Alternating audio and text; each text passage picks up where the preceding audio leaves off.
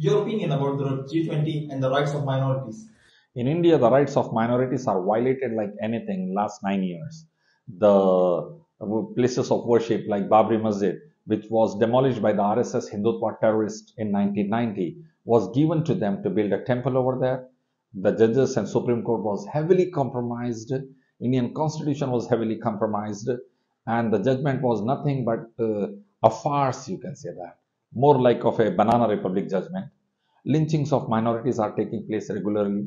Laws have been passed against minorities to harass them more and more at state and central level. More and more number of Muslims are being lynched uh, on regular basis and uh, fake cases were put uh, against minorities. Churches were attacked, mosques were attacked, places of worship of minorities were attacked like Buddhist temples were attacked. And moreover, even the Jains are not being spared. They were attacked like anything. So I think that under Modi, the rights of minorities were violated were brutally suppressed and the result is uh, every nation of uh, ICC and uh, in United Nations General Assembly have condemned Modi government. Recently, the former president of America, Barack Obama, also have condemned Modi government related to the issues of minorities. So minorities were literally at the receiving end under Modi government. They were killed, they were raped, they were attacked, their places of worship were attacked. And Modi is not even doing the lip service in the right direction.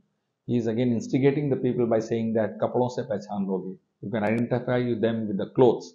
So identify the people with the clothes to attack. That is the indirect message Modi government is giving to the hooligans, Hindutva terrorists of RSS, VHP, Bajrang Dal.